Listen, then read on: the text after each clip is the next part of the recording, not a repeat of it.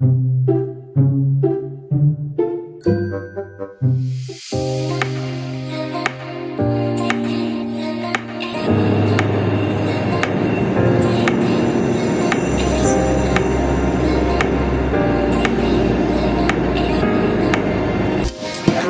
guys.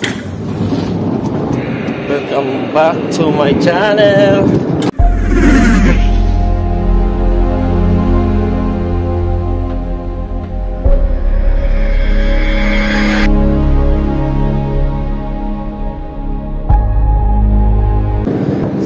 Andito tayo ngayon sa Karatsu, Karatsu, Japan.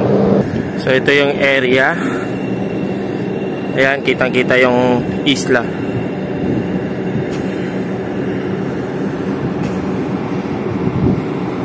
So nakikita nyo guys, ang ganda ng panahon. Andyan yung araw. Oh.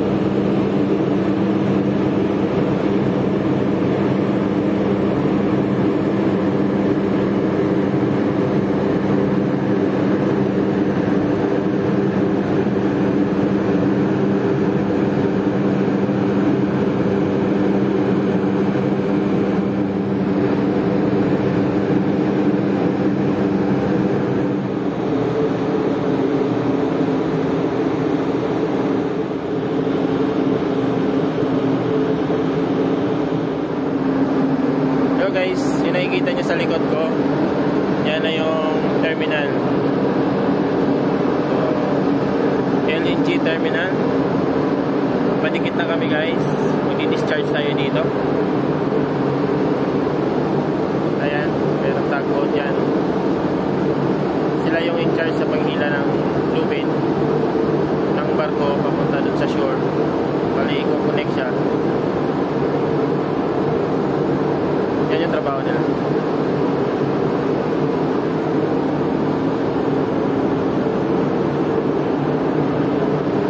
Tapos yan naman yung tangke guys.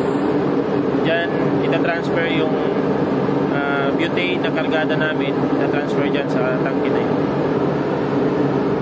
Konting taste na lang guys at didikit na tayo sa puerto. Karatsu, Japan.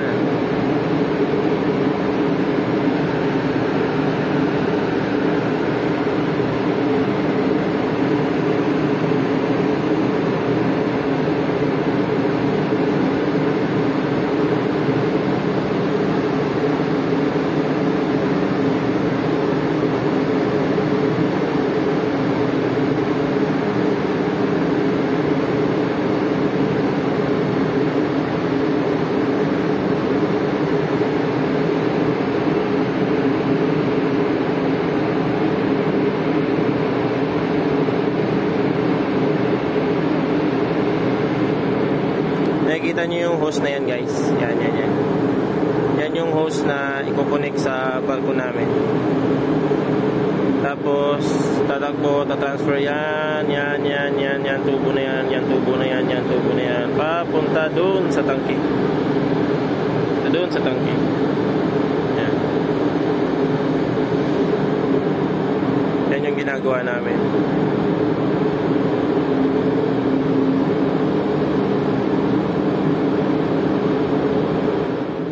Tingnan nyo guys.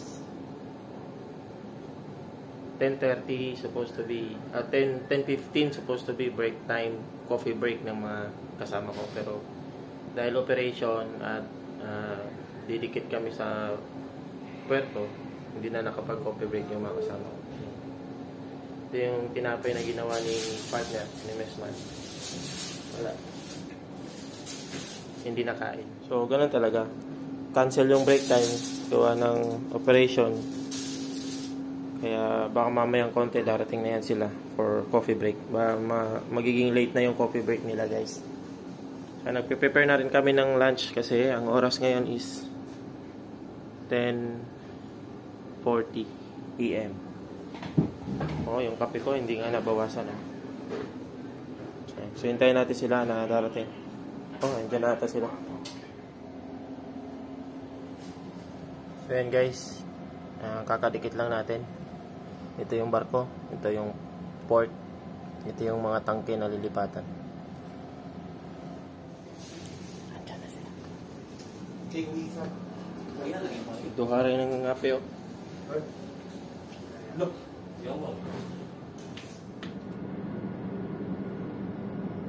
Tingnan nyo guys. Ang lalaki ng tangke, no? Napakalaki ng tangke.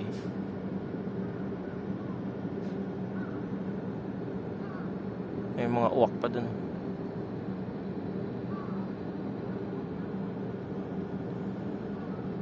Puro tangke yan. May mga maliliit na tangke din. Ayan. Zoom in natin guys para makita nyo na malapitan. Ayan o. Apat na tangke ito eh.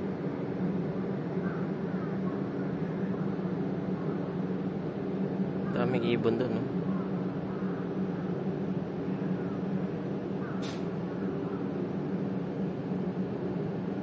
Ah, may Japanese ano po.